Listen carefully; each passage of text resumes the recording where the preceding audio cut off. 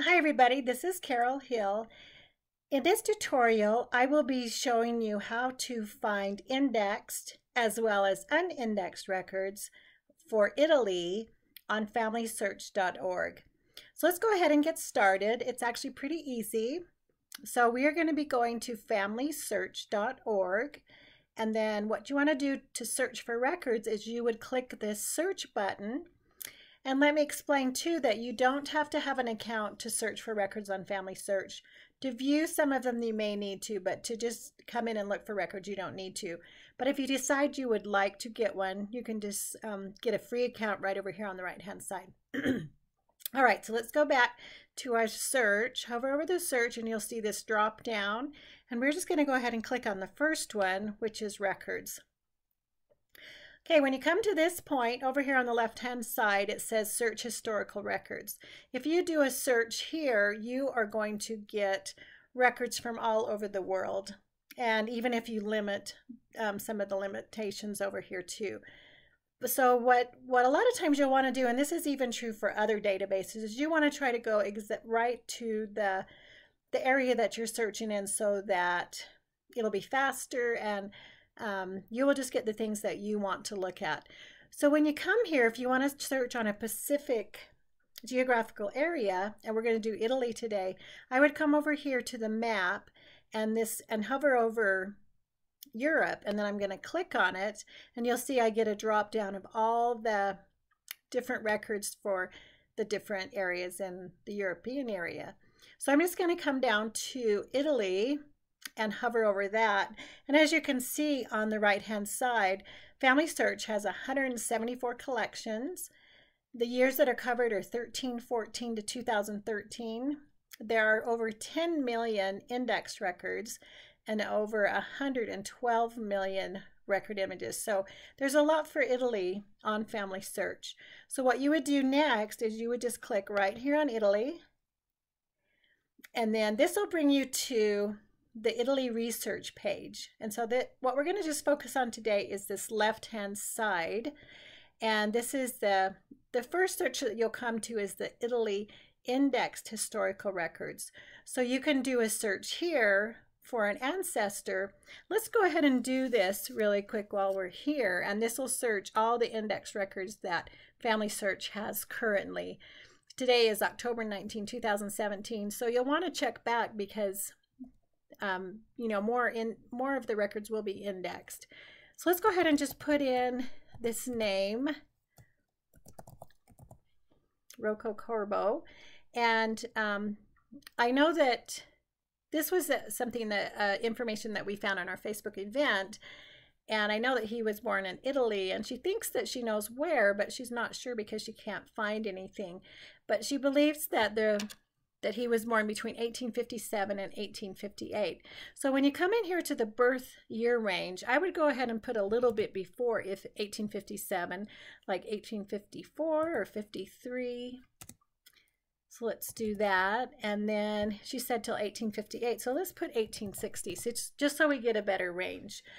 And you could add other information that you know, but a lot of times I like to just do a basic search to see what I get. So I would just enter that information and then I would do the search. But before we search, let me show you what we're going to actually be searching for. So this shows you the top five over here on the left-hand side. If I show, click on show all 47, then this is going to show you all of the records that it will be searching through on this search for Italy. So as you can see, there's there's quite a few, um, quite a lot, 47. So let's go ahead and let's do the search and then I will show you next how to look at the image only historical records right below. So let's click this search and let's see how many hits we get. And I see it spinning. Okay, so let me explain this this a little bit. So this shows on the left-hand side what we've searched for. You can make your adjustments here whenever you need to, and then there's another cert update down here at the bottom. But what it is over here is we, this says we searched records from historical records, and the first page is 1 to 20 of 38 results. this isn't a lot of results. Sometimes searches I have done have had over 2,000 results.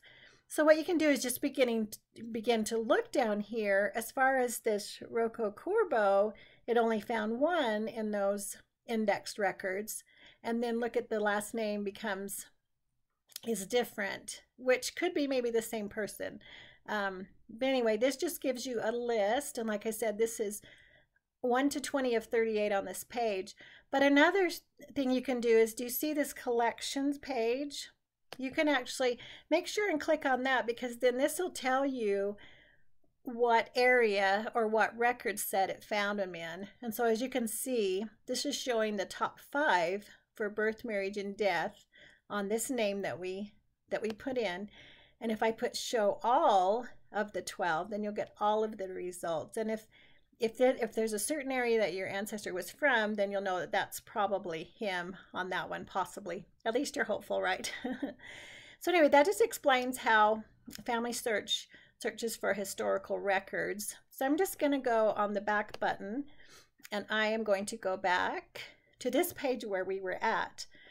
So we searched the indexed historical records, and then what I want to explain down here is there are these Italy image only historical records. So if you can't find your ancestor in the, in, the index search, you may be able to find them here. It's a little, it's quite a bit more work, but at least you know that the records have been digitized and you can actually search through those. So let me just show you how you would do that. So let's say that this area of Italy right here, 1861 to 1929, is where you want to look for your ancestor. And you can see on this right hand side, it'll show you this little camera. Anytime Family Search has, has just taken a picture or digitized the record, then you'll see this little camera. So let's just look at this. Let's pretend that my ancestor was from here. And then this brings me to this page and tells you a little bit about it, and you'll want to read through that. And then it says, browse through the 226,000 images. Well, sometimes that discour is discouraging, but let me show you how you can break this down. So you always want to click there on the browse, those images. And what this does is this is going to bring you to this page, and this will tell you that the province, I don't know how to say that, so this is the province. You can click on that, and then this shows you the communes inside the province. And so then I can go over here to this one that I wanted to look at, and this shows some matrimonies and deaths and um, other records here. And then so if I wanted to look at one of these, say my ancestor got married in this time period, 1864 to 1894, I would click on this. And hopefully this comes up. Okay, so this one comes up. Um, sometimes when you get to this point, you will be, it, you might get a message about how you have to sign in to view it or you have to go to a local family history center. So that just let just know that that could happen too. So up here, this is showing me that I am looking at image one of 3049. So what you're going to want to do is, first of all, you there's different ways you can view this zoom in, zoom out. Um, you can look at multiple images at once. So maybe you just want to click on and see what you're going to look at first because there's 3,000 images. And if you can find an index, that's the best. So let's click on this right here and just zoom in and see what that tells us.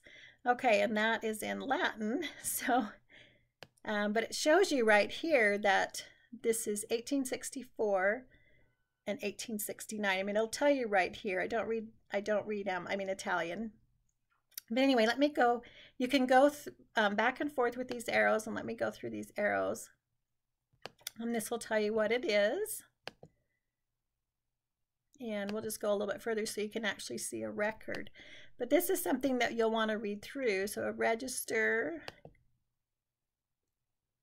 And then this is actually one of the,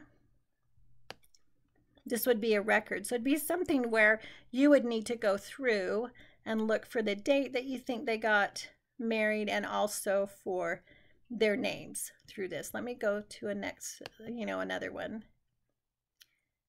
So a lot of information. Um, but anyway, just a way to check uh, maybe you'll find it pretty quick. Maybe the dates um, won't be that hard to find for your ancestor.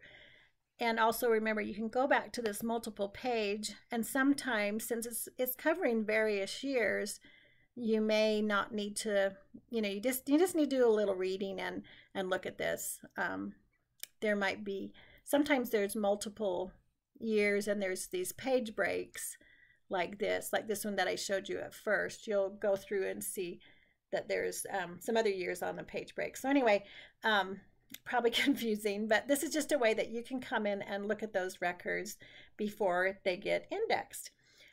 So let me know if you have any questions, and um, I hope this was helpful. Have a great day.